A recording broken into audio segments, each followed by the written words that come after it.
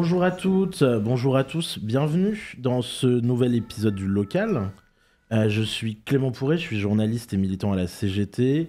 Alors vous connaissez le programme, pendant une heure, une heure et demie, on va échanger avec un militant de l'organisation pour parler de son parcours, de pourquoi il s'est engagé et des combats que mène la CGT.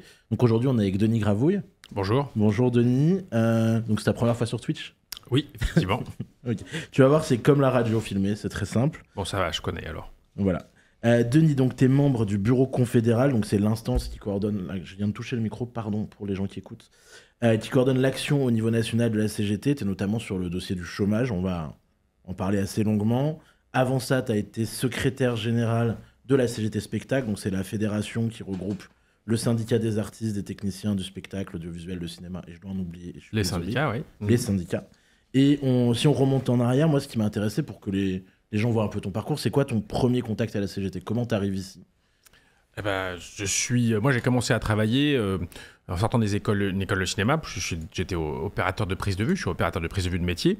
euh, en 91 et dès 93 je me suis syndiqué parce qu'il y avait une bataille sur les salaires j'étais euh, donc un technicien audiovisuel et cinéma intermittent mais euh, une grosse bataille pour obtenir un- de faire respecter les niveaux les minima salariaux qui sont très importants quand tu commences. Parce que après euh, quand tu es connu tu commences à pouvoir négocier ton salaire mais quand tu commences euh, c'est le minimum syndical comme on dit.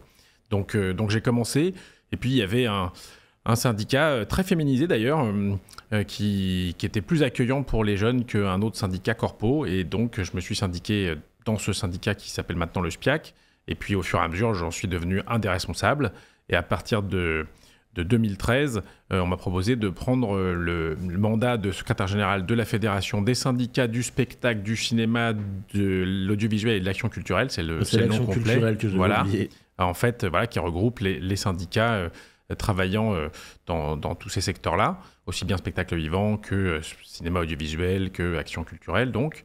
Et, euh, et donc, j'ai exercé ce mandat pendant dix ans, euh, puisque donc, depuis que je suis devenu membre du bureau confédéral, donc euh, euh, j'étais déjà membre de la commission exécutive confédérale, hein, les 60 et quelques membres de la Alors, direction. C'est quoi peut-être la différence du coup parce Eh bien, la direction, comme dans la plupart de nos organisations, il y a une commission exécutive de 64 membres actuellement, et qui, qui est l'instance de direction élue par le Congrès, qui se réunit à peu près tous les 15 jours et qui prend les décisions euh, exécutives.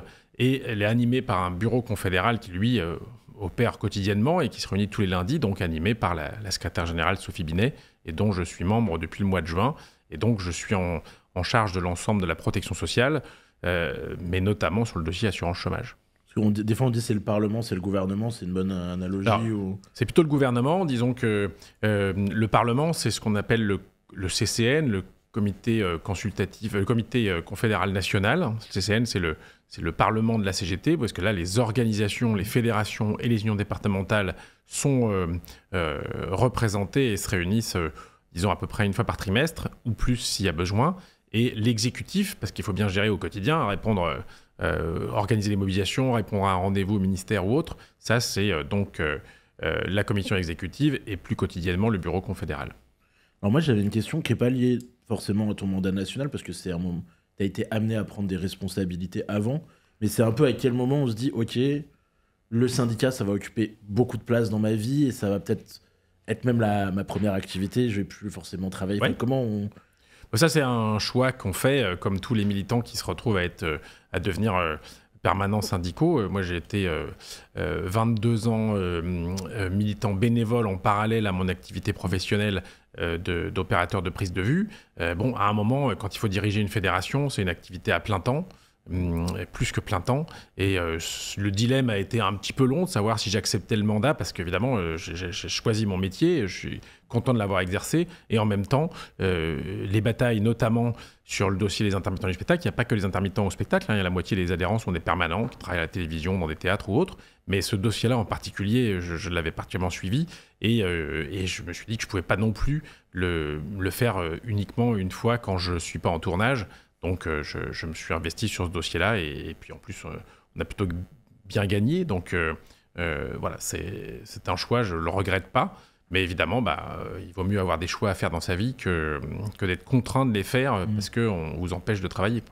Mais c'est intéressant que tu parles du, dossier des intermittents parce que quand je préparais, je lisais des papiers. D'ailleurs, j'ai noté, ça me faisait rire parce que dans l'Express, on disait que tu étais discret, atypique, habile et qu'il y a un moment où il y a plein de médias qui font des portraits de toi. D'un coup, tu deviens médiatique. Et c'est. Enfin, moi, c'est comme ça que je le lis. J'ai l'impression que c'est en 2016 quand il y a ce dossier, justement, euh, sur l'assurance chômage des intermittents du spectacle. Et c'est un peu le gros combat euh, de ce mandat-là, quoi. Oui, ça, c'est un, des plus gros combats. Mais bon, après, euh, les portraits dans la presse, c'est toujours un peu variable. Hein. Tu, je te donne une anecdote une fois, il y avait Capital y avait, qui, titrait sur les 100 qui blanquent la France. Alors je me dis, tiens, il va y avoir des copains de la CT, je vais regarder. Et puis hop, je venais juste d'arriver, il y avait déjà mon nom. Euh, je, je, venais juste d'être élu. Alors, qui bloque la France, c'était toujours évidemment un super réac.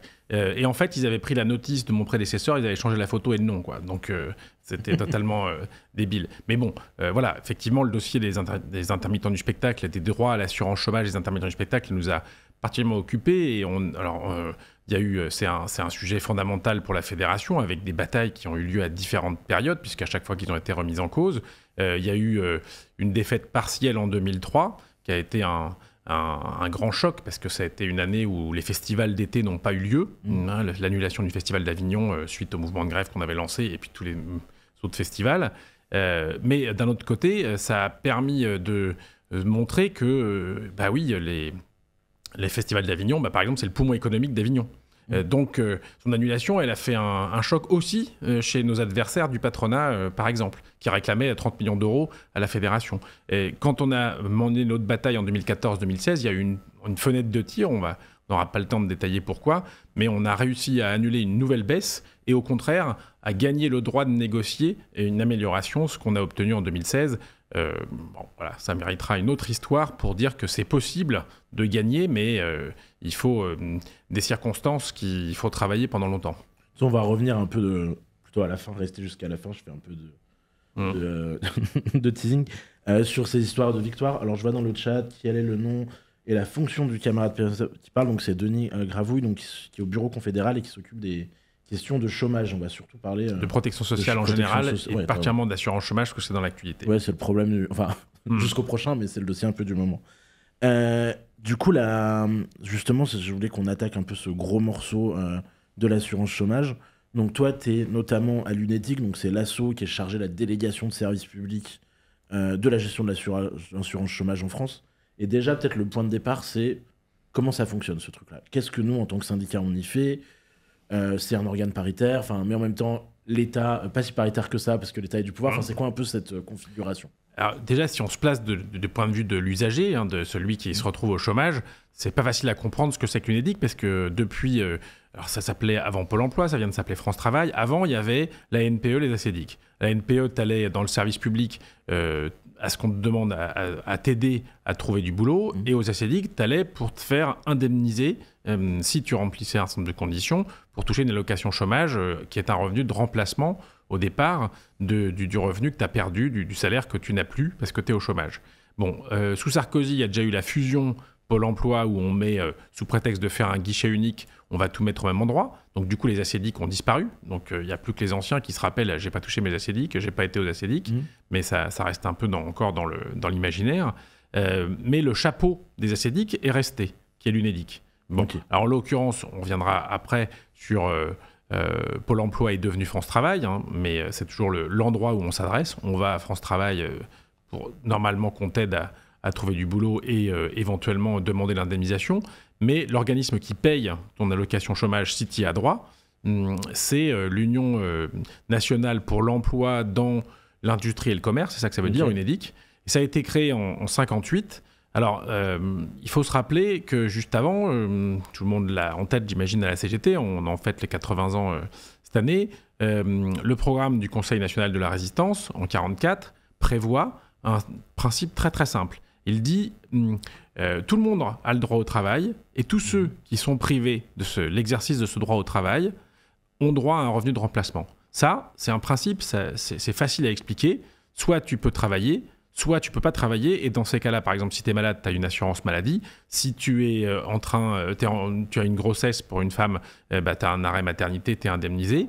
et puis quand tu es, quand tu es à la retraite, tu as le droit à une pension de retraite et on, te, on, te, on te, dit, voilà, tu arrêtes de travailler parce que sinon tu, tu vas mourir au travail.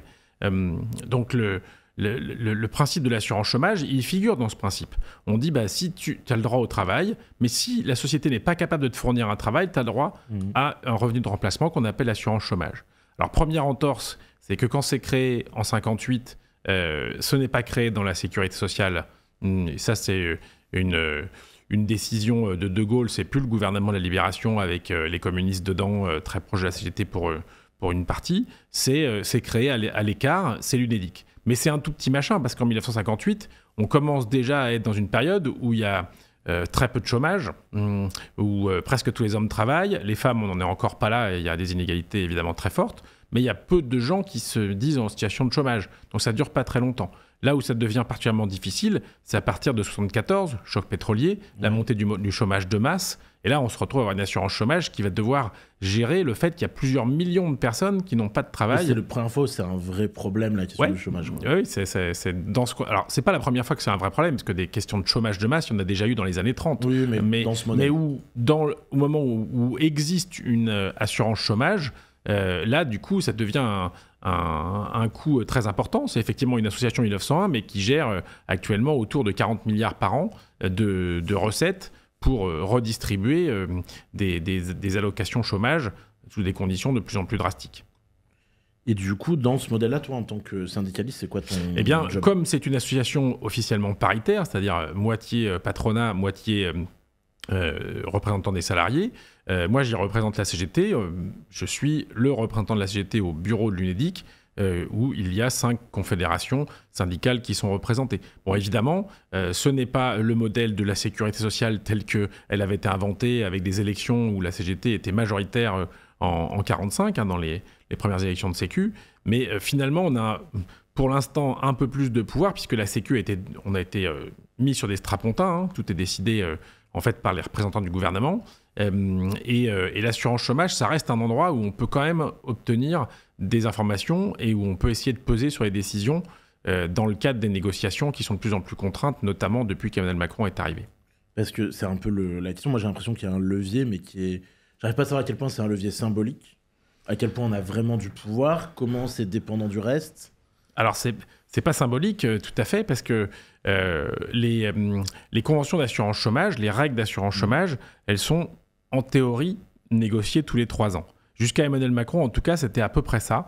Tous les trois ans, il y avait une négociation euh, pour renégocier les règles d'assurance chômage. Donc on se met en gros euh, les, syndicats, les patrons, et puis le patronat, on va payer, les, syndicats. Alors, ce qui est vrai, c'est qu'on s'est souvent retrouvé, euh, et la plupart du temps, nous, la CGT, non signataire des accords assurance chômage. Un, parce qu'au départ, on estimait que ça devait être dans la sécurité sociale. Et puis, à partir de 1974, parce que les droits à l'assurance chômage, en fait, ça a été une lente dégradation. En fait, les accords d'assurance chômage ont consisté à euh, taper dans les droits parce que, bah, en gros, euh, il n'était pas question d'augmenter le, trop le, les, financements permettant de financer les allocations euh, chômage. et il fallait gérer la pénurie avec de moins en moins de gens indemnisés ou moins en, bien, moins en, bien, moins, en moins bien indemnisés. En particulier, en gros, hum, c'est déjà depuis un tournant qui existe depuis les années 2000, il y a un peu deux types de personnes qui se retrouvent euh, au chômage, ceux qui ont perdu un CDI, qui ont été licenciés ou maintenant qui ont une rupture conventionnelle et autres. Hein, donc ça, bah, c'était le modèle classique au départ. Euh, tu te fais licencier, tu as une allocation chômage avant que tu retrouves du boulot. Euh, et puis surtout, maintenant, la plus grosse moitié, c'est un peu plus de la moitié, ce sont des gens qui n'ont jamais connu de CDI. Ce sont des gens qui ont mmh. enchaîné des contrats de plus en plus courts, des CDD, des missions d'intérim. et là-dedans, on retrouve beaucoup des jeunes. Évidemment, la moitié d'avant dont je parlais, celle qui a perdu un CDI, c'est des gens un peu plus vieux et c'est notamment euh, des plus de 50 ans qui ont du mal à retrouver du boulot et qui restent plus d'un an au chômage, par exemple. Et ceux qui sont dans les précaires, même si évidemment il y a des jeunes et des vieux parmi les deux catégories, sont plus souvent des plus jeunes et des gens qui mettent 10 ans à obtenir le premier CDI de leur vie, euh, surtout s'ils ont fait des études courtes. Oui, puis qui vont être indemnisés un peu, qui vont retrouver un emploi où en fait c'est une. Bah, la plupart, surtout, ils n'ont pas indemnisé. Hum, euh, et ce sont les. Alors là, une étude euh, très très intéressante pour ceux qui ont envie de creuser. Hein, sur le site de la CGT, vous trouverez l'étude IRES, IRES de Mathieu Grégoire et Claire Vives. C'est une étude qu'on a soutenue qui montre que sur 20 ans, bah, les principaux perdants de l'assurance chômage, ça a été justement euh, la deuxième catégorie, les CDD, hum, euh, où euh, en gros les droits ont été réduits ou carrément supprimés pour, pour des, gens qui, qui, connaissent la précarité. C'est pas par hasard, c'est que il y a eu un développement des contrats précaires, mais il fallait pas les indemniser. Pendant un temps, le patronat a créé l'intérim en disant ouais, mais on en a besoin, c'est un volant de flexibilité, alors on va mettre des droits plus importants pour les intérimaires. Puis une fois que l'intérim est installé, eh ben hop, on supprime les droits particuliers à l'assurance chômage pour les intérimaires euh, et il reste la précarité, l'intérim, euh, comme si c'était une, une, une, un fait toujours établi alors que c'était un choix politique. Oui, puis la mise en place des CDDU, tous ces outils de Ouais. Flexibilisation, je sais pas comment c'est le terme mis en place. Bah, c'est clair, c'est les ordonnances Macron, c'est la loi travail avant euh, sous, euh, sous Hollande, mais il y en a eu plein d'autres de facilitation du recours au licenciement de, pour, les, pour perdre un CDI ou euh, faciliter le recours au CDD ou le refus d'encadrer les contrats à durée déterminée dits d'usage qui font qu'on peut prendre des CDD à gogo dans plein de secteurs d'activité. Tu disais, il y a un point de bascule un peu sous Macron, alors probablement avant 2017, parce qu'en effet, la loi travail, c'est le début d'un mouvement. C'est quoi qui. Tu fais un peu ce bilan, c'est quoi Qu'est-ce qui a changé, quoi, fondamentalement? Avant Macron, avant 2017, l'assurance chômage, c'était une bataille à peu près euh, tous les trois ans, et encore, il y avait des fois où il y avait une prolongation, il n'y avait pas de changement de droit. Donc on va dire qu'une fois tous les, tous les trois ou six ans, il y avait une négociation d'assurance chômage avec un coup de feu, une décision. Euh, un patronat qui veut encore réduire les droits des, des chômeurs et particulièrement des précaires, et puis au passage qui, veut se payer le régime des intermittents du spectacle, qui au départ n'est pas très spécifique, mais qui, est, qui, reste, qui l'est resté. Euh, le, ça, ça a été euh, une bataille qu'on a connue jusqu'en 2017. 2017, Emmanuel Macron arrive en disant alors maintenant, hein, euh, l'assurance chômage, il va falloir qu'on révise tout ça. Première chose qu'il fait euh, dès 2018, c'est de supprimer la cotisation salariale. Ce que j'ai pas eu le temps de dire jusqu'à présent, c'est que évidemment, l'assurance chômage, elle est financée par jusqu'à présent, jusqu'en 2017, elle était financée par une cotisation patronale, mmh. une part sur le salaire. Bon, nous, on dit que c'est quand même du salaire généré par celui qui a travaillé, mais bon, ça s'appelle une salaire différé, quoi. C'est du salaire socialisé, pour être précis. Mmh, mais euh, c'est une cotisation sur la part patronale. Et puis il y avait une cotisation sur la part salariale, donc qui est déduite de ton brut. Euh, euh, et qui, euh, qui rentrent dans le cas. Bon, la première des choses qu'a fait Emmanuel Macron, c'est de supprimer cette cotisation salariale pour le remplacer par une part de CSG, la contribution sociale généralisée. La contribution sociale généralisée, c'est un tout petit peu technique, j'espère que je ne vais pas vous perdre, mais ce n'est pas une cotisation, c'est une taxe. C'est une taxe sur les salaires on l'aperçoit sur les salaires, mais on l'aperçoit aussi sur les revenus, euh, on les perçoit sur les pensions de retraite, par exemple. On l'aperçoit sur certains revenus financiers, mais euh, c'est pas, si pas très lourd. généralement. Voilà, pas trop non plus. Bon, mais donc, du coup, cette CSG qui avait été inventée euh, avant, sous Rocard, eh bien, c'est une taxe. Et du coup, en gros, Macron, il dit Ah ben, vous étiez dans un système où vous aviez cotisé parce que vous aviez travaillé et ça vous ouvrait des droits. Mm. Maintenant, c'est un impôt qui est prélevé par l'État, c'est l'État qui décide. Donc c'est plus les travailleurs et les travailleuses qui s'organisent. Et voilà, donc du coup, alors il l'a pas fait complètement, il a fait un système hybride euh, dans lequel il va dire la négociation. Euh, d'accord, les organisations patronales et, syndicales vont négocier, mais avec une lettre de cadrage du gouvernement. Et en gros, la lettre de cadrage du gouvernement, elle vous dit alors vous allez rentrer en négociation, mais vous allez faire ça, ça, ça, ça et ça. La première lettre de cadrage, donc c'est la loi de 2018, elle nous arrive fin 2018, et elle dit, eh bien, euh, vous allez négocier les droits à l'assurance chômage, mais vous allez faire 4 milliards d'économies sur 3 ans, uniquement en baisse de droits des chômeurs et uniquement en baisse de droits de ceux qui sont les travailleurs précaires, justement. C'est ça qui s'est passé. On pourrait rentrer dans les détails, mais euh, en gros, ben, il faut baisser les droits de ceux qui sont euh, qu'alternent sans arrêt des périodes d'intérim ou de CDD avec des périodes de chômage en particulier. Mais le fondement politique de ça, du coup, c'est de se dire, maintenant, comme c'est plus le travailleur qui s'organise, voilà, on a la légitimité politique de. C'est l'État, et, l'État sous Macron, c'est Emmanuel Macron à l'Élysée avec deux, trois personnes qui décident de tout et les autres exécutent. Et, euh, et c'est évidemment le contraire de la conception démocratique qu'on peut avoir, surtout si on articule démocratie politique et démocratie sociale. Donc, évidemment, depuis ce temps-là, des négociations euh, ont, été tentées, mais euh, elles ont échoué en 2019. Forcément, quand on dit alors, euh, ben, vous faites Harakiri ou alors c'est le gouvernement qui le fera, ça, c'était pas possible. Nous, on a proposé justement de ne pas respecter les aides de cadrage du côté CGT. Mais bon, les négociations sont ouvertes comme ça en 2018 et ont échoué en 2019 le, les, ces revenus euh, en 2023, par exemple, euh, en 2023, bon, il y a eu la période Covid, et puis ensuite 2023, il y a encore une nouvelle négociation euh, à l'automne 2023, et l'automne 2023, alors là, il y a eu un accord, mais le gouvernement considère que bah, on va pas le respecter.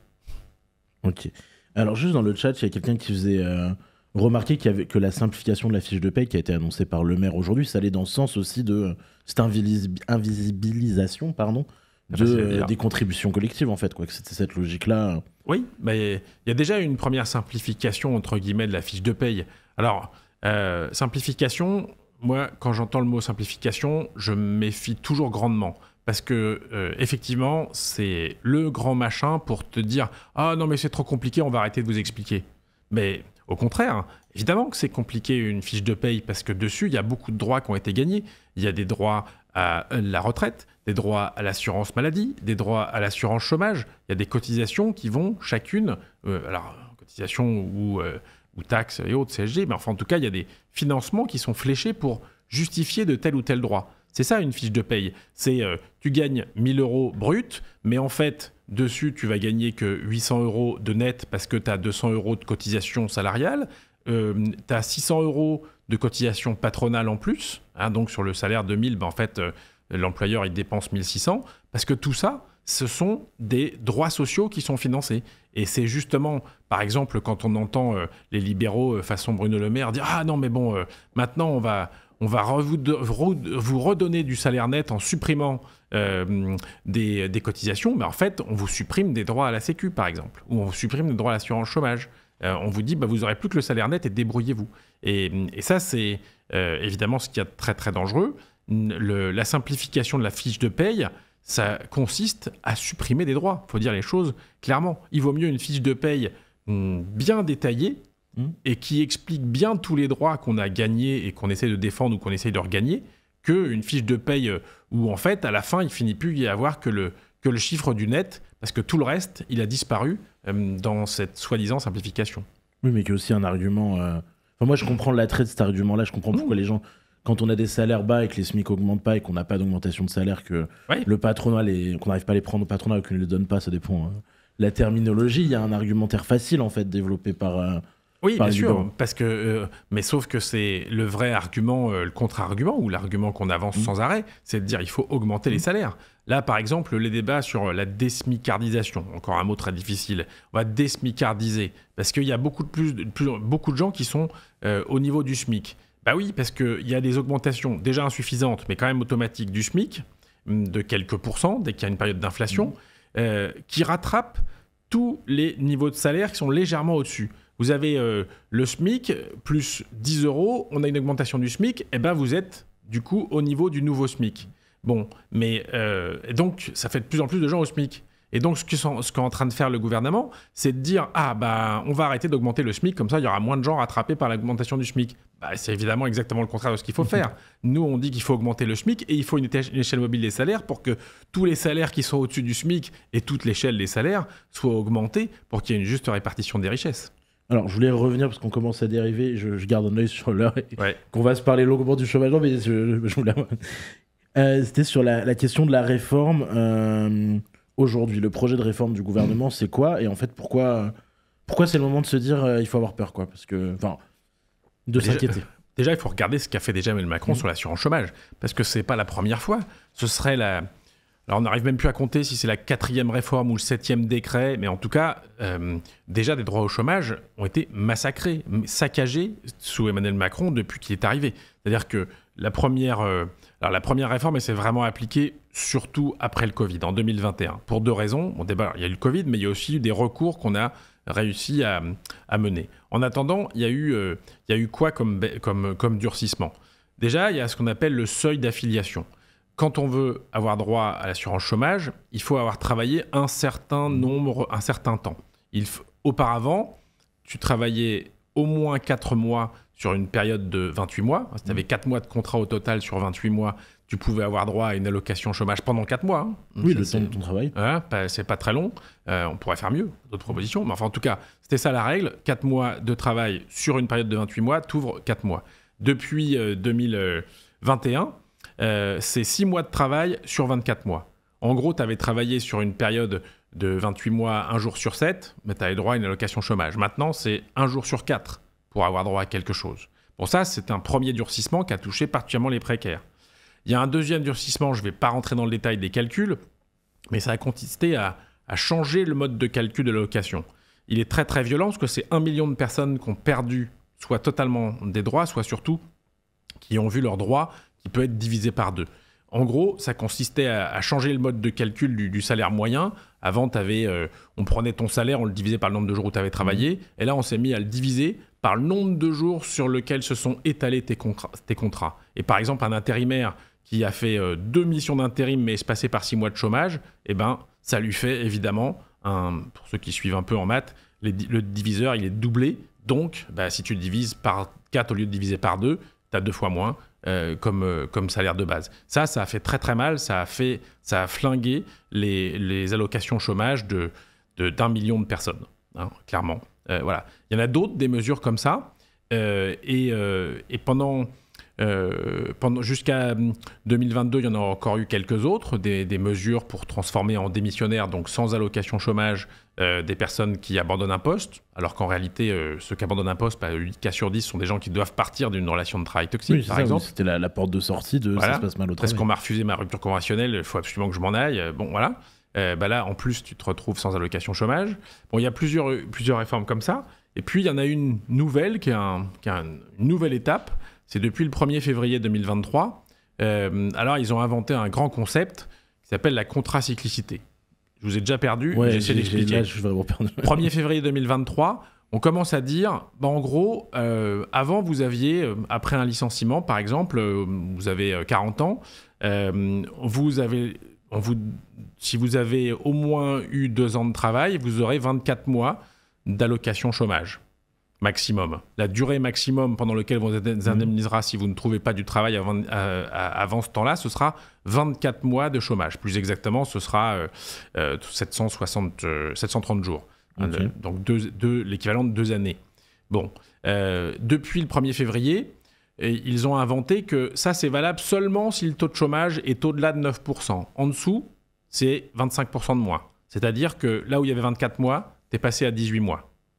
Euh, et donc, ça, c'est ce qui s'appelle la contracyclicité. Si le chômage, parce que soi-disant le chômage baissait, hum, le chômage baisse, donc on va baisser ta durée. Bah, ce qui est déjà absurde, parce que ça Oui, veut dire la que logique m'échappe un peu. bah, la logique, c'est de dire qu'en gros, euh, tout ça, c'est de la culpabilisation des chômeurs. Mm. Euh, le chômage baisse grâce à la brillante action du gouvernement. Donc, ceux qui restent au chômage, c'est qu'ils l'ont choisi. Et donc, on va leur baisser leur droit au chômage. On va vous culpabiliser. Vous êtes resté euh, trop longtemps au chômage.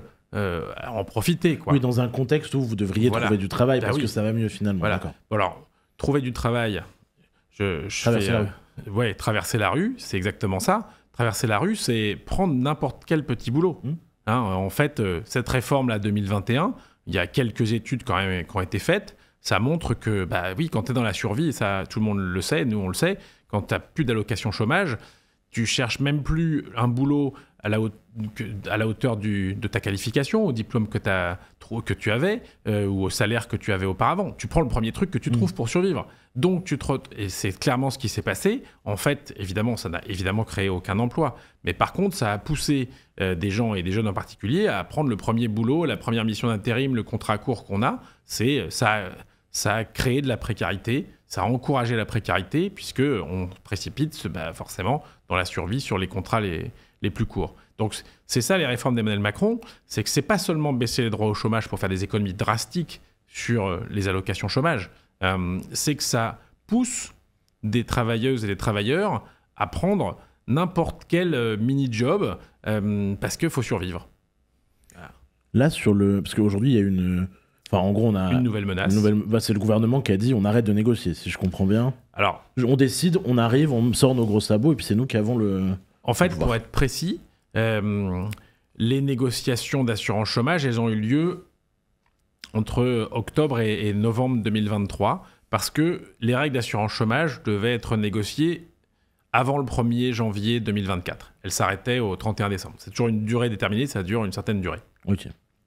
Euh, passe des détails. Mais bon, c'est, il fallait euh, trouver des règles. Alors là, on nous envoie une nouvelle lettre de cadrage qui nous dit, alors, euh, vous allez faire une nouvelle négociation, mais il faudra quand même toucher tel et tel paramètre. Et puis surtout, il n'est pas question de dépenser plus. C'est-à-dire que si vous prévoyez des nouveaux droits d'un côté, il faudra le prendre à d'autres. C'est, c'est ça qui est écrit dans cette lettre de cadrage. C'est en gros, touchez pas à l'équilibre, vous devez euh, taper dans, vous débrouiller tout seul, c'est les distribuer un petit peu plus aux précaires ou, à la durée. Et puis vous n'avez pas le droit de changer les règles que le gouvernement a instaurées depuis qu'il est arrivé, tous les décrets qui ont été pris. C'est une négociation euh, plus que contrainte. Mais il y a quand même un accord assurance chômage qui est trouvé. Alors c'est un mauvais accord, hein. on l'a dénoncé euh, du côté CGT parce qu'il prévoit beaucoup de baisses pour, pour, des, pour les allocataires pas rentrer dans les détails, mais enfin, il y, a des baisses. Une petite hausse pour certains, hum, euh, notamment les saisonniers. Hein. c'est notamment une, parmi ceux qui se sont euh, mobilisés.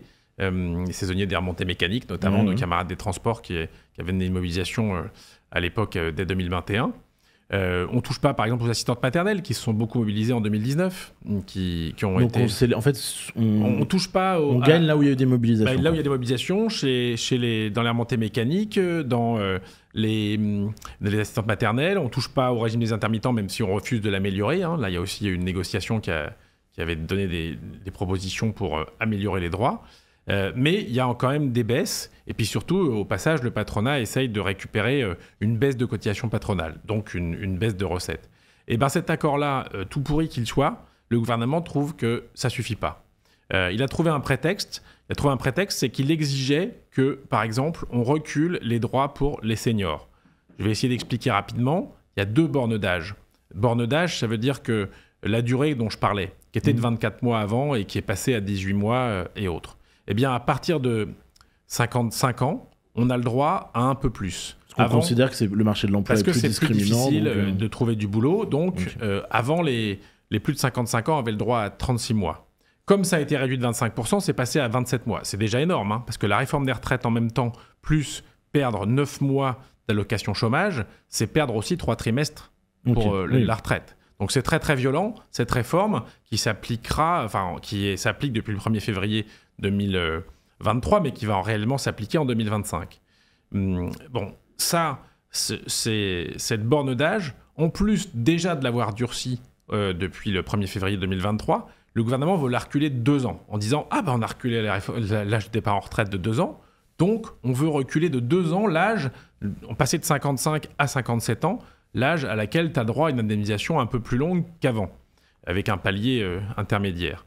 Et puis il y a une autre borne d'âge, c'est euh, pour euh, à peu près 40 000 personnes par an, des gens qui sont au chômage, qui ont une indemnisation à l'âge de la retraite, mais qui n'ont pas encore tout leur trimestre de retraite. Et on considère que on, va leur maintenir leur droit à l'assurance chômage le temps qu'ils aient le droit à une retraite à taux plein. Euh, et bien ça c'est pareil, c'est plus 62 ans pour le gouvernement. Il faut que ça passe progressivement, très rapidement, en 4 ans, à 64 ans. Donc ça c'est un durcissement. Ça veut dire clairement que tous ceux que ça peut toucher, ce sont des gens qui vont se retrouver euh, alors évidemment, ceux qui se feront pas licencier, euh, bah, euh, qui resteront travailler entre guillemets plus longtemps, ne seront, ne seront pas touchés. Mais prenons un collègue, je prends un exemple précis, parce que ça nous est, arrivé, un, camarade licencié à 58 ans. lui, il a eu le droit à 3 ans de chômage jusqu'à donc 61 ans. Mmh. en fait, avec le temps de, de décalage, ça fait plutôt 62 ans. Et comme il a pu partir, il, pour, il ne pourra partir qu'à l'âge de la retraite à 63 ans. Il va se retrouver un an, il a perdu son boulot, il a fait 400 demandes d'emploi, il n'en a pas trouvé de boulot, personne ne prend un, un gars euh, à cet âge-là dans, son, dans, sa, dans, dans sa région. Euh, trois ans de chômage, un an sans rien du tout. Et des années avec moins de retraite. et après, une retraite euh, qui en plus peut être minorée mmh. quand il arrive à 63 ans. Et bien là, avec la combinaison de la réforme des retraites et avec euh, les, les, durcissements qui sont envisagés, c'est pas seulement un an, ce qui est déjà énorme, sans, sans rien du tout. plus d'allocation chômage, pas de salaire, même pas le RSA parce que c'est calculé en fonction des revenus de sa femme qui heureusement a un travail, eh bien, euh, eh ben, on peut se retrouver avec des gens qui vont se retrouver deux ans, trois ans, quatre ans sans rien du tout. C'est-à-dire pas d'emploi, pas d'allocation chômage et avec l'âge de la retraite qui a été repoussé. C'est vraiment ça qui est en train de se passer avec toutes ces réformes. Et apparemment, ça n'a pas l'air de vouloir euh, arrêter le gouvernement, puisque Gabriel Attal a dit à deux reprises dans ses passages télé qu'il fallait encore raccourcir la durée d'indemnisation, il fallait durcir le seuil d'accès, et il y avait d'autres idées encore euh, auxquelles ils avaient pensé pour encore. Mais c'est pas pour faire des économies sur des chômeurs, c'est pour les aider à retrouver du boulot. Et là, il va peut-être falloir que, les chômeurs sont fainéants. Eh ben, c'est un, tout ça, euh, c'est ce mensonge contre lequel on se bat depuis le, début, euh, depuis des années, mais particulièrement depuis le début du, premier mandat d'Emmanuel Macron, c'est de faire croire que les gens, en fait, sont très contents euh, d'être au chômage et puis d'être indemnisés. Il y a même un député macroniste qui avait dit euh, Ah ben, quand même, partir aux Bahamas avec des allocations chômage. Alors c'est sûr que c'est peut-être leur destination de vacances préférée aux macronistes, mais des allocations chômage, c'est généralement pas très élevé et ça permet pas beaucoup de partir en vacances c'est en dessous du salaire que tu as perdu, ça dure pas longtemps. Et puis, encore une fois, les deux tiers ne sont, euh, ne sont pas indemnisés. À Effet Bahamas, je fais un tout petit peu de pub pour le, film euh, d'Hélène Crouzilla qui s'appelle Effet Bahamas, qui va sortir au cinéma bientôt, que vous pourrez voir par exemple le 6 mai au Méliès de Montreuil, et qui parle de cette bataille sur l'assurance chômage, justement. C'est pour ça qu'on est dans le, dans le, dans, le sujet. Euh, donc, ce mensonge permanent qui consiste à dire mais il y a plein de boulot et les chômeurs sont indemnisés, il faut leur supprimer les allocations chômage pour qu'ils aillent travailler, ça ne tient pas deux minutes. Euh, ça tient pas deux minutes d'abord quand on sait ce que c'est que le stress d'être au chômage et d'avoir du mal à retrouver du boulot. Puis ça tient pas non plus euh, parce que euh, simplement bah, le, il y a 6 200 000 personnes inscrites à, France Travail, euh, sans compter ceux qui sont au RSA, qui ne sont pas encore mmh. inscrits hein, pour beaucoup. Et, euh, et, puis, il n'y a pas 6 millions d'emplois disponibles.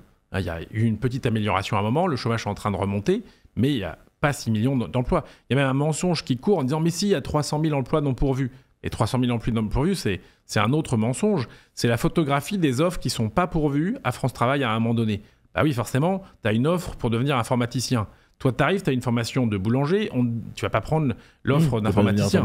Bah ou alors, il faut faire une formation longue mais tu peux pas prendre l'offre tout de suite. Et évidemment, c'est plus dur de trouver des informaticiens en ce moment euh, ou autre. Ou alors, il y a des petits emplois dégradés. Les offres d'emploi dans les 300 000 dont il parle, bah, c'est une heure euh, ou, une journée euh, dans l'intérim pour aller sur un boulot moins qualifié. Oui, ou des horaires avec des coupures. Des... Et même nos camarades de, de, de l'organisation des privés d'emploi, la CNTPEP-CGT, a, a, démontré avec son enquête régulière sur les offres illégales de, Pôle emploi plus France Travail qu'une grande partie était bidon et même illégale, parce qu'ils ont même vu des, des offres pour la reprise d'un café, d'un bar tabac, ou des offres qui t'annoncent que c'est un CDI, puis dès que tu grattes, en fait, c'est un CDD. Mmh. Euh, et, ou même des fausses annonces qui sont mises en place, par, envoyées par des agences d'intérim, qui te disent euh, Allez, venez chez nous. Ah, en fait, l'offre est pourvue, mais laissez-nous vos coordonnées. Comme ça, ils se font un fichier de gens qui peuvent, qui peuvent mobiliser quand ils ont besoin. Quand ils ont besoin. Et en fait, il n'y a pas d'offre, c'est mensonger.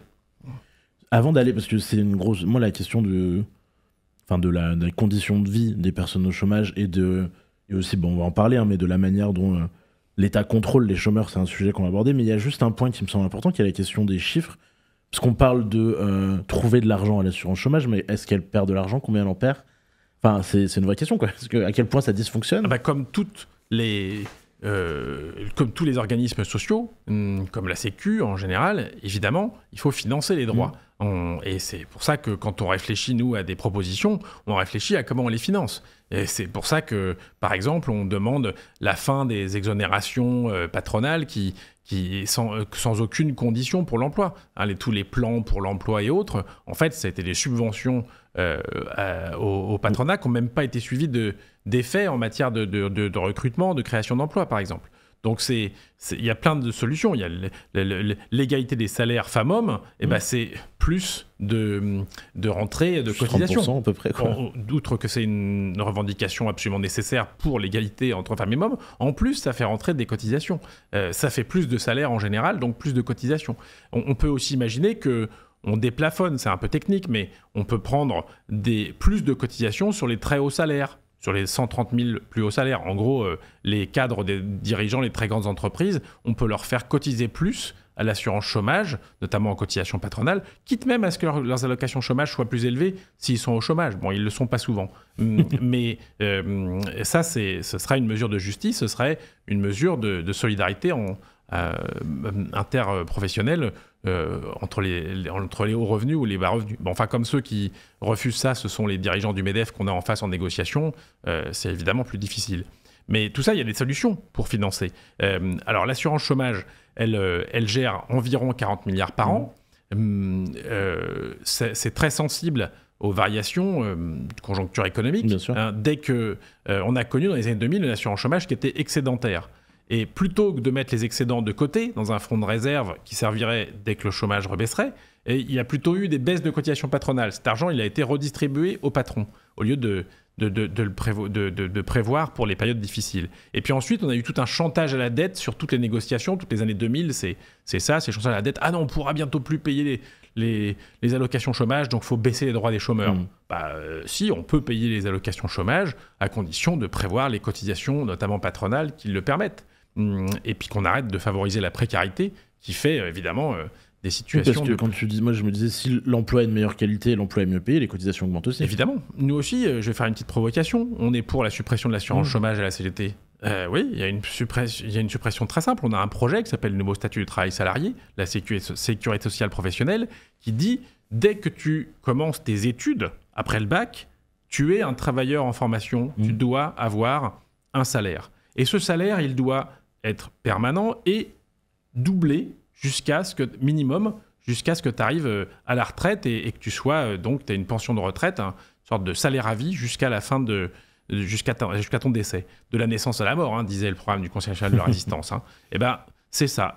Ben oui, donc dans ces cas-là, il n'y a plus besoin d'assurance chômage. Mmh. L'employeur n'a plus besoin de toi. Ben, tu quand même as quand même ton salaire. Tu perds pas le salaire et tout ce qui va avec, les droits euh, euh, qui, t'accompagnent, le droit à, la protection sociale que, tu perds quelquefois quand tu perds ta complémentaire santé quand tu es licencié, par exemple, d'un emploi à l'autre. Et bien tout ça, c'est euh, dans la sécurité sociale professionnelle, incluant une sécurité sociale intégrale pour la CDT, on n'a pas, on est mis à l'abri de ce besoin en ayant la possibilité, y compris, parce que ça, c'est évidemment, le monde n'est plus le même qu'en 44 ou 45, tu as envie de changer. Tu sais que tu vas pas travailler forcément dans la même boîte. On nous, nous, a parlé de mobilité pendant des années quand il s'agit de licencier, de licencier à tour de mmh. bras en disant Ah, vous ferez pas toute votre carrière dans la même boîte. Mais quand c'est les salariés qui veulent partir, qui veulent changer, qui se disent Moi, j'ai envie d'avoir. Euh, euh, de, passer à un autre job, mais j'ai pas envie de perdre mon ancienneté ou de perdre mes mmh. droits parce que j'ai acquis de l'expérience. Et eh ben ça, c'est un projet qu'on peut expliquer. C'est un principe très simple. Alors évidemment, il faut le financer et c'est faisable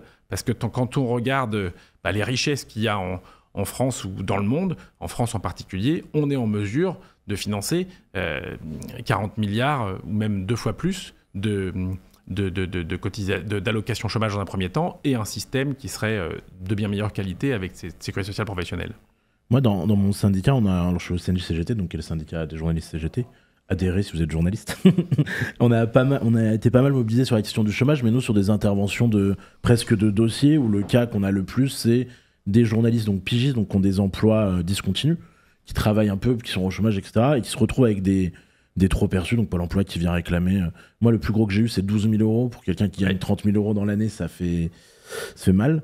Et l'analyse qu'on a mais de moi de ce hmm. truc là c'est qu'il y a un contrôle de une intensification du contrôle en fait est-ce que c'est partout il y, a plusieurs choses d'abord il y a une confusion on va, parler des trop perçus et après on va parler du hmm. contrôle les trop perçus euh, c'est complètement lié à l'explosion de la précarité et ça fait euh, déjà quelques années que je siège à UNEDIC dès que pour avoir vu et vécu des trop perçus moi-même en tant qu'allocataire, je, n'ai pas arrêté de porter d'abord dans le désert, sur le, le, crier dans le désert en disant mais il faut trouver des solutions pour qu'il n'y ait pas de trop perçus. On, sait par exemple, il y a des assistantes maternelles qui nous ont dit moi je m'inscris plus à, Pôle emploi. Hein. Les assistantes maternelles, elles ont, elles ont trois contrats en même temps parce qu'elles mmh. gardent trois enfants, puis s'ils ne se terminent pas tous en même temps, l'enfant, il part, un des enfants part à l'école et puis l'autre un an après. Bon, et eh ben on dit moi je m'inscris plus à à Pôle emploi à l'époque, parce que c'est tellement le bordel, ils nous réclament des trop perçus à chaque fois, que je préfère m'en passer, parce que c'est insupportable de dire Ah ben non, finalement, euh, on vous a versé 10 euh, 000 euros de trop, rendez-les nous euh, trois ans après. Mmh. Bon. en fait, à force de complexifier les contrats de travail, eh ben, pour, pour, le, pour Pôle emploi France Travail, c'est devenu complexe de gérer les droits. Et comme en plus, on a supprimé les effectifs dans, oui, ça dans un contexte où le service dans, ce, ce- cet organisme-là, euh, avec notamment des effectifs euh, qui ont été beaucoup sabordés dans ceux qui savent calculer les allocations chômage, on va dire la machine va s'en occuper. La machine, elle sait faire des choses simples. hein. Même une- un gros algorithme, il sait calculer relativement facilement le salaire de quelqu'un qui a été licencié après 10 ans dans la même boîte. Mais alors, calculer les droits de quelqu'un qui a eu une mission d'intérim par là, alors un, un journaliste euh, euh, pigiste qui a des piges dans plusieurs endroits. Nous, la moyenne, c'est autre, 8 employeurs par an. Voilà. Ils n'y arrivent pas. bah ça, c'est super compliqué. Par contre, des humains bien formés Mm. et en nombre suffisant savent le faire. Mes, mes camarades de la CGT euh, Pôle emploi France Travail pourraient le, pour le dire et pourraient répondre à tout le monde. Bon, eh bien là, dans ces cas-là, on pourrait euh, avoir un système qui génère pas ces, trop perçus euh, à la con. Là, par exemple, sur les trop perçus, on a des systèmes. On a, vu une personne euh, à qui on réclamait euh, 100 000, une autre 300 000 emplois parce que il y a au moment de la du, justement du maintien de droit, quand tu es à la fin de carrière, si tu arrives à 62 ans, que tu pas tous tes trimestres, on continue à verser les allocations chômage. Mais après coup, on te dit Ah bah finalement, vous auriez dû avoir une pension de retraite qu'on vous verse pas, mais on vous réclame quand même des, alloca- des allocations chômage. Parce que vous êtes touché pendant 2-3 ans et puis on... Voilà. C'est un système absurde, évidemment, que des gens peuvent pas rembourser. Là, en ce moment, il y a, il y a des gros problèmes là-dessus. Alors ça, c'est euh, c'est notamment lié au développement de la précarité, lié au fait que euh, on, on a euh, cru dans le tout numérique euh, et qu'on a supprimé les effectifs pour, euh, au lieu de créer des systèmes où on, on répond vraiment aux besoins des personnes. Et puis, il y a les questions du contrôle. Alors, il y a, il y a des systèmes de, contrôle algorithmique qui répondent, à beaucoup de choses, mais il y a surtout, quand on parle de contrôle, une sorte de pression qui est mise sur les demandeurs d'emploi. Et là, c'est beaucoup plus là-dessus que, depuis quelques années, on, a une pression, et particulièrement, ça a commencé avant lui, depuis Emmanuel Macron, c'est, ah, puisque donc on part du principe que les chômeurs euh, ne vont pas chercher du travail si on les pousse pas un peu, si on les, si on les contrôle pas, si on contrôle pas activement leur recherche d'emploi, on va aller euh, beaucoup plus leur mettre la pression. Et le résultat, c'est qu'on a des contrôles complètement absurdes. On a des, des personnes qui sont sanctionnées parce que euh, ils ont manqué un rendez-vous. Mais ils ont manqué un rendez-vous qu'ils n'avaient même pas eu. On leur a donné un rendez-vous parfois euh, la veille pour le lendemain. Euh, t'as pas regardé ton mail euh, ou t'as pas eu le coup, de- le coup de téléphone que t'étais pas chez toi, t'étais sorti acheter ton pain. Ou t'habites dans un endroit où la connexion fonctionne pas, Voilà, ou tu as, du mal avec le et, numérique, euh, T'as pas de. t'as cassé ton téléphone. T'as un téléphone qui. euh, certains opérateurs euh, pas chers euh, ne sont pas reliés au, au réseau. Enfin, y, il y a des systèmes, il y a des absurdités dans tous les sens. Euh, euh, ou alors, simplement, bah, il y a ce qu'on appelle les freins périphériques, et soi-disant, ils sont levés, mais tu as des gens qui n'ont pas les moyens de faire garder leurs enfants. tu as des mairies qui refusent de prendre à la cantine euh, les enfants de gens qui sont inscrits au chômage en disant Ah, bah, vous êtes disponible pour les garder, on n'a pas de place. Hmm, ce genre de choses. donc les freins périphériques, c'est tous ces, tous de ces, tous ces trucs qui font que bah, on te dit ah tu étais censé être disponible, euh, on t'appelle le matin pour aller prendre un emploi l'après-midi, mais comment tu fais pour y aller, pour Mm. euh, se déplacer là-bas, pour euh, faire garder ton môme, euh, etc. Notamment les familles monoparentales sont généralement des femmes, donc c'est tous ces toutes ces questions là qui sont pas réglées, mais que sur lequel on fait peser la responsabilité sur le dos des chômeurs qui, euh, soi-disant, voudraient pas travailler parce qu'ils sont euh, grassement indemnisés par les allocations chômage. Donc c'est... ce- c'est- alors, d'abord, un, euh, les deux tiers de ceux qui sont inscrits à France Travail ne touchent rien. Il n'y a que un tiers, un peu plus de 36-38% des gens qui touchent des allocations chômage parmi ceux qui sont inscrits. Donc déjà, vivre grassement quand tu touches rien, c'est déjà un, énorme scandale. Et puis, la question du contrôle, elle entretient la confusion entre la recherche d'emploi et la fraude. D'ailleurs, si vous posez la question à beaucoup de gens, on dit Ah bon, euh, les chômeurs, euh, ça fraude. La fraude, est-ce que tu as une idée du chiffre, de- du montant de la fraude? Alors, J'ai une idée parce que je pense que c'est un peu comme la CAF où ça doit Ouais. être 60 millions, très minoritaire par Bah, rapport Le à- pourcentage, au c'est non-recours en fait. moins de 0,4% des allocations. Donc déjà, as, sur l'ensemble des inscrits, tu en as un tiers qui touche les allocations. Et dans ceux qui ont un tiers d'allocations, il y a 0,4% de fraude. Donc on fait des règles de contrôle pour euh, 996 chômeurs et 4 fraudeurs. Et on dit, euh, c'est euh, ces 996 euh, chômeurs et les 4 fraudeurs, eh ben, vous êtes tous dans le même sac. On vous donne même pas le, même pas le, le- le droit de, de, de dire, mais euh, attendez, j'ai fait une erreur sur ma déclaration. Ah non, vous êtes un fraudeur. Oui, parce qu'il y a une assimilation aussi à l'erreur et la fraude qui est pas la même Exactement. chose. Tout ça, c'est mêlé. Euh, et, euh, nos décideurs qui savent très bien ces chiffres de 0,4% qui ont été fournis par Pôle emploi à l'époque, d'ailleurs ils ne les donnent plus en ce moment, c'est, ben, entretiennent cette confusion parce que en réalité le projet c'est pas de euh, on présente ça à l'opinion publique, notamment à des retraités qui disent Ah ouais, les chômeurs, ils veulent pas travailler. Hum, euh, des retraités qui votent à droite, euh, évidemment, ce n'est pas le cas de tous les retraités, hein, mais, c'est une partie de l'électorat de Macron qui sont. on a des enquêtes d'opinion qui nous disent Ah bah oui. Les chômeurs veulent pas travailler, mais la vérité c'est que il n'y a pas de travail et que tout le monde veut travailler, mais tout le monde a le droit de travailler dignement et de pas être obligé de prendre des mini jobs si encore il y a que ça. Pardon, excuse-moi, je lisais un long commentaire, mais on y reviendra un peu plus tard. Euh, du coup, tu parlais un peu, moi ça m'intéressait sur ce truc de, enfin, de narration. Pardon, je me rapproche du micro. Moi j'ai l'impression que ce truc de narration des fraudeurs, c'est aussi la, l'autre l'autre versant, on va dire, c'est la narration du de la diminution de l'emploi en fait. D'un côté, on dit on ce qui y a plein de fraudeurs et de l'autre on dit l'emploi, enfin le chômage diminue, ce qui est pas vrai, ce qui est souvent du truchement euh, mathématique, des stratégies communicationnelles quoi. J'aime bien ton terme de, de narration parce que c'est un récit. Hmm. C'est une histoire qui est racontée. Euh, alors j'aime bien les histoires, mais quand elles sont fausses dans la réalité et que ça change la vie des gens, là c'est un autre problème.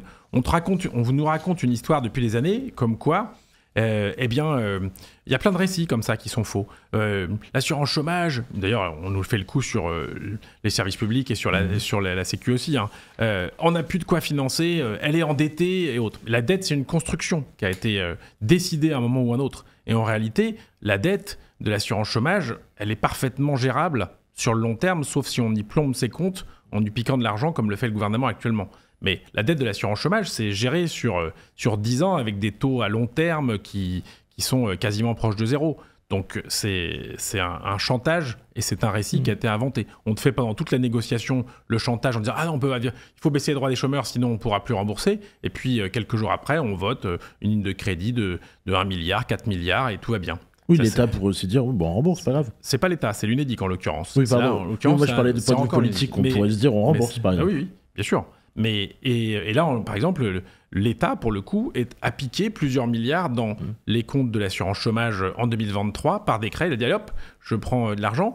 Et ce qui a coûté, mmh, euh, déjà, et ce qui va coûter sur 4 ans, presque un milliard d'intérêts bancaires. C'est-à-dire qu'il y a un milliard de l'assurance chômage qui va partir ni dans le budget de l'État, où euh, ça a été pompé pour financer France Travail hein, en particulier, ni financer les allocations chômage.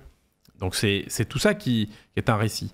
Euh, bon, euh, parce que France Travail est financé à 80% par une ponction sur les allocations chômage. J'allais dire France Travail, c'est aussi un récit, rien que le nom, il y a quelque chose Bien sûr, c'est un récit et, on va avancer là-dessus. Et donc là, c'est pareil, le, récit de euh, les chômeurs veulent pas travailler, c'est une construction. En réalité, il faut dire les choses. les chômeurs veulent travailler, mais ils veulent travailler, y compris un, travail qui les intéresse, mmh. qu'ils ont choisi, et un salaire qui correspond à leurs attentes. Ils veulent pas, les, des chômeurs ne veulent pas travailler sur des mini-jobs, sur des petits boulots euh, euh, où en plus on les maltraite, voire même euh, des boulots dangereux. Oui, c'était un peu la question sans mettre aussi en danger son santé physique, mentale, sans. Eh oui. Enfin, toute la question aussi de ce qu'on disait tout à l'heure, le fait de plus pouvoir abandonner son poste, de plus pouvoir se sauver. Alors on a été un peu pessimiste, beaucoup, mais il y a quand même des. Comment on mobilise? Parce que c'est une question difficile, mais en même temps, on gagne des trucs. Tu disais tout à l'heure sur les derniers accords, on voit bien que c'est dans les, dans les branches ou dans les secteurs où les salariés se sont mobilisés que ils ont été moins impactés par les réformes. Comment, comment ça se passe? Il y a euh, du côté euh, pessimiste qu'on va justement combattre. Il y a un ministre anonyme, son courageux, qui a dit euh, dans un journal Les Échos, qui a dit on peut taper sur les chômeurs hein, parce que les syndicats, ils n'arrivent pas à mobiliser sur, sur l'assurance chômage. Bon, euh, c'est en partie vrai, c'est difficile, mais il y a des exemples qui montrent qu'on peut lutter. D'abord, quand on est syndicaliste, on se demande toujours comment on va lutter, même la situation est beaucoup plus, très difficile. D'abord, on parlait du Conseil national de la résistance. Il faut quand même se dire que les jours heureux, ça a été écrit euh, alors que nos, nos, prédécesseurs, euh, nos grands anciens, étaient pourchassés par les nazis et la ministre de mmh. Vichy. Hein, quand même, donc, même si l'extrême droite menace d'arriver au pouvoir, Là, on a des acquis, il faut, les défendre. Il faut essayer de, s'organiser. Euh, on a des exemples où, alors bien sûr, il y a les intermittents du spectacle qui ont réussi non seulement à empêcher la disparition de, règles spécifiques, mais qui ont même réussi à les regagner. Hein, ça, c'est l'accord 2016. Mais nos collègues dockers ont réussi à empêcher que les dockers occasionnels voient leurs droits baisser à l'assurance chômage aussi, en menaçant de bloquer les ports, donc en, créant des rapports de force. les assistantes maternelles, mmh. en 2019, il y avait une grave menace sur un système, il n'y a, pas a pas de régime spécial des assistantes maternelles, mais il y a un système qui, de calcul lié aux personnes qui ont justement plusieurs contrats en même temps. On, se sont énormément mobilisés avec euh, la Fédération du commerce. Je suis désolé, pardon. T'en prie, vas-y, un petit verre d'eau. Pardon, désolé. Je vais te, je Ouais, vas-y, vas-y. Je suis désolé. Bah non, c'est mieux de. Mais je voulais pas te couper au milieu. vas-y, termine, termine, prends le temps. Je vais reprendre. Ouais, donc les, nos, les dockers. Nos, les dockers, nos camarades assistantes maternelles se sont beaucoup mobilisés en 2019 et ça reste en mémoire parce que là, euh, les, le système euh, de mode de calcul assistante maternelle n'a pas été revu non plus dans, dans, les, dernières, euh, dans les derniers changements. ce qui est très nouveau, c'est qu'il y a eu, c'est la première fois que je vois une grève en 2021 des, des, salariés euh, saisonniers, des remontées mmh. mécaniques qui ont fait grève sur l'assurance chômage. Et, euh, comme par hasard, hum, la toute petite amélioration du, de, novembre, euh, je ne sais pas si elle va voir le jour, c'est justement pour les, saisonniers. Donc il y a quelque chose. Et puis quand, on, quand Gabriel Attal balance ces nouvelles attaques contre l'assurance chômage là, depuis ces deux passages à la télévision, eh ben, ça tangue. D'ailleurs, on a même vu Yael Bonne-Privé, présidente de l'Assemblée nationale, Elisabeth Borne, qui a quand même euh, bien plombé là, avec la réforme des retraites, dire non mais là il faut quand même pas trop euh, aller trop loin sur les baisses de droits. Pourquoi? Parce que là, on est à force de baisser les droits, bah, ils sont en train de toucher, y compris à leur électorat. Hein. Euh, d'abord, euh, les, les, jeunes majoritairement qui sont euh, dans la précarité disent non mais là c'est juste plus possible. Hein. Ça commence à toucher y compris des gens de leur entourage. Mmh. Mmh, pas les enfants d'Amédée Castera, mais, mais en tout cas des, gens qui, qui, qui, votaient ou qui votent Macron. et puis le fait de réduire la durée, mmh. bah, il faut juste savoir que tu as 22% des chômeurs qui mettent plus d'un an à trouver du boulot, et c'est même 20% chez les cadres. Donc ça peut être des, des gens qui, qui se disaient, bon, allez, euh, une durée de deux ans euh, ou de trois ans après 55 ans, bon, ça m'arrivera pas. Mais, euh, ça va toucher les cadres, en fait. Mais ça peut toucher beaucoup de monde. Enfin, on a plein d'exemples. On a des exemples de jeunes qui mettent 10 ans à atteindre un CDI, et puis on a des exemples, je, pense à une, une, copine, une camarade informaticienne qui a été licenciée à 53 ans et qui n'a pas retrouvé de boulot dans même comme informaticien, dans, le privé, qui a, trouvé du boulot dans le public en acceptant un salaire euh, inférieur à, ce qu'elle avait auparavant, euh, ben, elle a mis euh, plus d'un an à retrouver du boulot. Donc ça, c'est concret. La réalité, les mensonges sur les chômeurs aux Bahamas ou, ou les chômeurs qui veulent pas travailler, bah, ça se heurte à la réalité de ce que vivent des millions de personnes. Hein, je donne juste un, une petite anecdote, c'est pas qu'une anecdote, mais il y a eu une fuite de, de données à, à France Travail, là, il y a, deux mois. Une fuite euh, euh, qui aurait pu être évitée. Hein. Nos camarades du syndicat de la, direction des services informatiques, euh, la CGT Pôle emploi France Travail, avaient alerté sur le fait qu'on ne prenait pas assez les mesures de sécurité. Donc si on écoutait les salariés, on écoutait leurs syndicats, on aurait pu l'éviter. Mais ça a montré quoi, cette fuite de données? 43 millions de personnes qui sont passées par Pôle emploi depuis 20 ans ont, ont vu leurs données se retrouver dans la nature. Donc ça veut dire qu'il y a 43 millions de personnes dans les 20 dernières années qui ont un moment ou un autre été au chômage, indemnisées ou pas. toutes les personnes qu'on travaille. 43 millions de personnes, bah, à 55 ans, il y a la moitié des gens qui ont connu un épisode de chômage de leur vie actuellement. Donc, c'est juste. Euh, bah, il n'y a que Emmanuel Macron qui ne connaît pas le chômage parce que quand, euh, quand on aura réussi à le virer de l'Elysée, il sera embauché dans une banque ou ailleurs. Euh, on sait bien qu'il ne bosse pas pour nous. Mais là, ça, c'est la réalité. Ça, c'est le, ça, c'est le vrai monde, la réalité de, du truc-là. Et donc, c'est possible. On va donner des perspectives. la prochaine. Le, là, il faut faire maintenant hein, parce que le. Le, le, gouvernement a annoncé qu'il allait prendre un décret avant le 1er juillet pour baisser les droits il est sérieusement embêté avec euh, les, le, fait que ça passe pas dans l'opinion, bah, on va se mobiliser. Euh, on, a, euh, on, va le porter le 1er mai et on va le porter, on va, trouver, des dates de mobilisation qui vont venir dans la prochaine période et notamment au mois de mai. On réfléchit à des dates, je ne peux pas encore les annoncer, peut-être le 24 mai, mais on va se caler aussi pour ne pas qu'on soit en retard par rapport aux décisions que pourrait prendre le gouvernement qui annonce une grande concertation et, et qui va peut-être essayer de qu'on va devoir faire reculer. Je me fais un peu l'avocat du diable, mais je suis euh, salarié. en poste. Le 1er mai, j'y vais ou j'y vais pas, mais je connais à peu près. Pourquoi j'irai spécifiquement Enfin, tu vois, le, moi j'ai l'impression que c'est la, la vraie difficulté, elle est là, quoi. C'est comment on mobilise les, les, gens en poste, en fait, les gens dans l'emploi. Oui, ben, la question, c'est que cette réforme d'assurance chômage, elle, euh, c'est une nouvelle fois. ça peut être tapé sur les droits des chômeurs qui vont se retrouver au chômage, hein, mais en général, les règles d'assurance chômage, elles ne changent pas pour ceux qui ont, des droits en cours. Quand tu te retrouves euh, à avoir des droits euh, en cours de, hop, les, quand tu te retrouves à avoir des droits qui ont déjà été notifiés, normalement, tu n'as pas de baisse de droits. Mhm. Si tu as été licencié là euh, euh, au 1er janvier, bah, les règles, on, t'a dit, tu as le droit à deux ans de chômage, ou tu as le droit à 18 mois de chômage. Euh, si ça change au 1er juillet, ce sera pour ceux qui seront licenciés après le 1er juillet. Donc, ça veut dire que les changements de règles, elles vont tomber généralement sur ceux qui vont se retrouver au chômage. Donc, et là, en ce moment, on a une palanquée de plans sociaux qui sont en train d'arriver dans l'automobile parce que y a pas, la, transition écologique n'a pas été gérée par les, constructeurs qui sont en train de pressurer les salariés pour continuer à fabriquer des bagnoles et puis ensuite ils délocaliseront des usines pour fabriquer des, voitures électriques ailleurs. Euh, ça n'a pas été géré dans plein de secteurs du commerce. On voit avec euh, Camailleux, Gap qui ferment et les gens qui se retrouvent licenciés. Il y a encore d'autres euh, menaces. donc là, on a une montée des plans sociaux qui est, très claire et qui est même annoncée. donc on a des gens qui vont se retrouver licenciés dans pas longtemps. Et c'est sur, sur eux que vont tomber la réforme mmh. d'assurance chômage. C'est sur ceux qui revendiquent euh, d'être embauchés quand tu es en CDD depuis des années. Tu, tu on te fournit que des CDD et tu voudrais être embauché au CDI, mais tu as la menace de ne pas être repris. Mmh. Et ben c'est sur eux que ça va tomber. Parce qu'en plus, tu as une menace sur l'assurance chômage. Donc c'est pour ça qu'il faut faire le lien avec les batailles pour l'emploi euh, et les batailles euh, pour l'assurance chômage. Et une dernière chose, par exemple une camarade de la Fédération de la Santé et Action Sociale et disait Mais oui, on peut créer des emplois. Il y a besoin de 300 000 emplois pour faire fonctionner le système de santé pour, et d'action sociale pour euh, permettre à ce qu'on réponde aux besoins, pour pouvoir accueillir toutes les personnes âgées, pour pouvoir accueillir euh, la petite enfance, pour pouvoir accueillir euh, les gens à l'hôpital. Hein. Dans les urgences, on voit très bien qu'il y en a qui ferment parce qu'il n'y a, a, pas assez de personnel soignant notamment.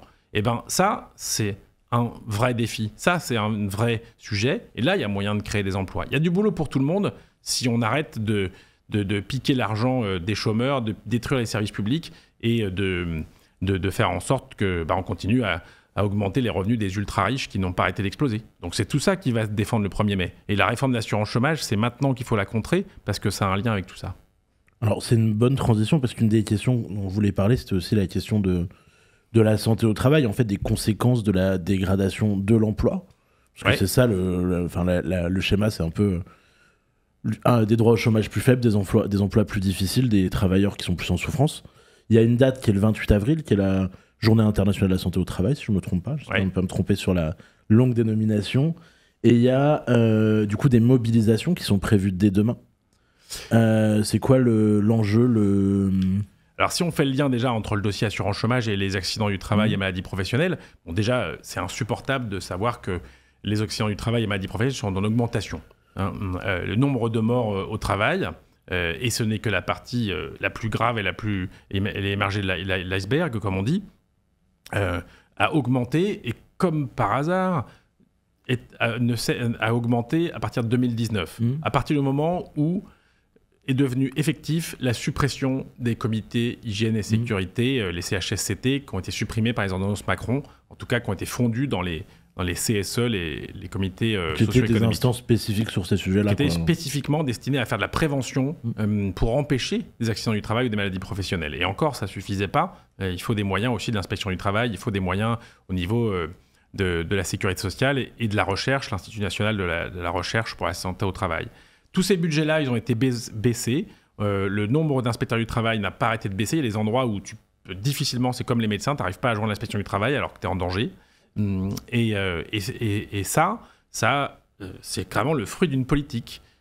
donc, et ça tombe particulièrement sur les plus précaires. Alors, les, plus précaires des plus précaires sont les travailleurs sans papier qui, qui, sont en train de mener des luttes et qu'on accompagne particulièrement dans l'intérim. Mais un intérimaire, notre, CGT intérim, dit que, euh, d'après les études, un intérimaire est, est, sujet à deux fois plus de risques d'avoir un accident et à ce que ces risques soient deux fois plus souvent mortels. Donc c'est c'est aussi un, phénomène lié à la précarité, et c'est des jeunes qui meurent au travail euh, en particulier. Mais bon, qu'on soit jeune ou vieux mourir au travail, c'est inacceptable. Mmh. Euh, le 28 avril, il y a une journée internationale de l'OIT, l'organisme international du travail, qui appelle. Bon, mais comme c'est dimanche, on a décidé d'aller manifester. Euh, le dimanche, la ministre, elle ne doit pas être à son ministère. Mmh. On, on, appelle à manifester pour ce qui est de Paris euh, dans le quartier des ministères est terminé au ministère du Travail. Donc il y a une manifestation à Paris le 25 avril. Il y a déjà une, première mobilisation à midi, euh, place de l'Hôtel de Ville. Il y a une conférence de presse à 10h à l'Institut national de la recherche scientifique. Une mobilisation à midi, euh, place de l'Hôtel de Ville. Et une manifestation à 14h au départ de la rue du Bac, ministère de l'écologie, puisque c'est nos camarades de l'équipement qui ont initier la manifestation, 14h, et on va finir au ministère du Travail. Et il y a des actions ailleurs qu'à Paris. Euh, je vous renvoie sur le site de la CGT, puisqu'il y a des actions dans, dans différentes villes de France. Évidemment, ça, ça, ne se passe pas que près de, du ministère. En tout cas, qu'est-ce qu'on réclame? On réclame des moyens pour la prévention. Mmh. L'exercice du travail et maladie professionnelle, c'est trois sujets principaux. C'est les faire diminuer par des moyens pour la prévention, ça c'est indispensable. Le gouvernement a fait un chantage sur les moyens de la prévention depuis plusieurs mois et les, moyens ne, ne, sont pas là, donc on les exige, les exige immédiatement. Un budget, euh, ce qu'on appelle une COGE, Convention d'objectifs et de gestion, tout de suite. Donc euh, là, ils sont peut-être en train de céder euh, et de nous annoncer qu'ils vont lâcher un peu de moyens certainement pas à la hauteur de tout ce qu'on réclame. Ils vont lâcher quelque chose. Ils vont lâcher des moyens et il faut qu'ils le fassent. Et ça, c'est vraiment l'action de la CGT à, travers ces différentes fédérations euh, qui le portent euh, avec les associations de victimes, comme le fait notamment la Fédération de la construction. il faut des moyens pour la prévention à tous les niveaux. Il faut indemniser correctement les accidents et maladies du travail, même quand il y a quand c'est un accident de trajet, mmh. par exemple. Et puis, il y a un, un point fondamental, c'est tous les accidents et maladies du travail qui sont dus à une faute inexcusable de l'employeur des conditions de travail euh, atroces, des équipements de sécurité qui n'étaient pas là. Et ça, il y a une grosse pression en, ce moment du patronat euh, le plus poujadiste, en particulier la CPME, qui dit euh, qu'on a obtenu une très bonne décision de la Cour de cassation hum, en janvier 2023. la CPME, je suis pas sûr que la CPME, c'est le deuxième syndicat patronal après le Medef, qui sont en train d'essayer de doubler le Medef par la, par la droite ou l'extrême droite, hum, et dont, dont, les représentants réclament à ce que euh, on cesse de, leur appliquer, euh, de les faire condamner euh, pour des fautes inexcusables de l'employeur, bah, qu'ils se mettent aux normes de sécurité, puis il n'y en aura plus de fautes. Hein. oui, jusque-là. Voilà, c'est pourtant simple. Et qu'on arrête de leur réclamer beaucoup d'argent, voire des condamnations pénales. Hum, pour, pour ce, Et donc, il n'est pas question de sacrifier ces, ces droits parce que non seulement c'est c'est ce qu'on a obtenu pour la réparation de ceux qui se retrouvent dans des cas soit des décès pour leurs ayants droit, soit des, gens qui ont été gravement blessés à vie euh, et qui ne peuvent plus travailler ou plus de la même façon. Euh, et puis surtout, ça a un effet dissuasif. Parce que le but, c'est que personne ne soit blessé ou mort au travail. Donc euh, la peur de cette sanction pour les employeurs, la preuve, c'est qu'ils en ont peur, c'est qu'ils essaient de, la mmh. faire disparaître. ça doit persister. Au contraire, pour moi, ça devrait même être alourdi pour faire en sorte que euh, on fasse reculer le, nombre de morts au travail. soit suffisamment élevé pour qu'on. Ah ben, il faut qu'il y ait des condamnations pénales, il faut qu'il y ait des condamnations très lourdes qui euh, obligent les employeurs à prendre à, prendre toutes les mesures de sécurité. Et il n'y a pas que. Il y a des gens qui meurent euh, sur des chantiers immédiatement, écrasés par un chantier parce qu'on n'a pas mis assez de monde pour guider le, chantier et puis guider le véhicule. Mais il y a aussi des gens qui meurent de l'amiante 30 mmh. ans après et parfois 10 ans après leur retraite. Donc c'est ce genre de choses qui sont qui, évidemment qu'il est euh, absolument indispensable de, d'obtenir des moyens pour la prévention, des moyens pour indemniser tous les accidents et maladies du, du, toutes les ATMP, accidents du travail et maladies professionnelles, et euh, le, des, mesures très fortes qui empêchent de remettre en cause euh, l'indemnisation en cas de faute inexcusable de l'employeur. Oui, surtout quand tu parles de ça, je me disais en plus on sait faire. Enfin, moi je pense aux, les chantiers du JO, des JO de Paris où la CGT était impliquée, où les les conditions d'accès, enfin voilà, les conditions de travail sur les bâtiments sont exemplaires. Ça commence à craquer un peu, exemplaire. Il y a quand même des chantiers qui ont été arrêtés, mais disons que par rapport à l'habitude, s'entend. Comme il n'y a pas eu de poste de créé dans l'inspection du travail, pour éviter qu'il y ait trop de problèmes qui se voient un peu trop pour les JO, on a déplacé euh, des, moyens de l'inspection du travail pour contrôler les chantiers. Et effectivement, il y a eu euh, moins d'accidents du travail. Ça a été divisé par 4. Euh, et, il y a eu moins d'accidents graves. Il y a un mort sur un chantier qui est lié aux JO. Un, ouvrier qui a été mort écrasé par un camion près, de, près des, des bords de Seine. Mais c'est ces moyens, hum, euh, bah, il faut qu'on arrive à les garder de façon pérenne. Ce mmh. C'est pas seulement pendant les JO. Il faut que ce soit tout le temps, euh, sur, dans toutes les régions, dans toutes les professions, parce qu'il est inacceptable de se retrouver à avoir euh, des, des, gens, et, encore plus inacceptable qu'en plus certains patrons s'en prennent aux inspecteurs du travail ou, aux contrôleurs qui viennent voir ça. On, a eu des inspecteurs de travail qui se, qui se sont fait tuer. Euh, dans, certains cas, il y a eu euh, un drame euh, il y a quelques années parce que, évidemment, c'était insupportable pour, en l'occurrence, c'était un agriculteur qui avait, qui avait tiré sur des, sur des contrôleurs et qui avait tué deux personnes. Donc c'est ce genre de choses qu'il n'est pas acceptable de d'encourager en supprimant des moyens et en laissant des gens mourir au travail. Et hum, une petite idée là-dessus, hein, quand même, hein, un point qu'il ne faut pas oublier, c'est que tout ce qu'on dit pour l'accès, tu parlais des contrôles euh, sur euh, l'assurance chômage, euh, des moyens pour l'inspection du travail, tous ces, tous ces baisses de moyens dans les services publics, que ce soit inspecteur du travail ou dans les organismes sociaux comme l'assurance chômage, c'est vraiment organisé et ça nous conduit mmh. à avoir des millions de personnes qui ne peuvent pas faire valoir leurs droits. Ma propre fédération a apporté le fait qu'on a des, des, centaines de personnes qui n'arrivent pas à faire valoir leurs droits à congé maternité, à congé euh, maladie. Euh.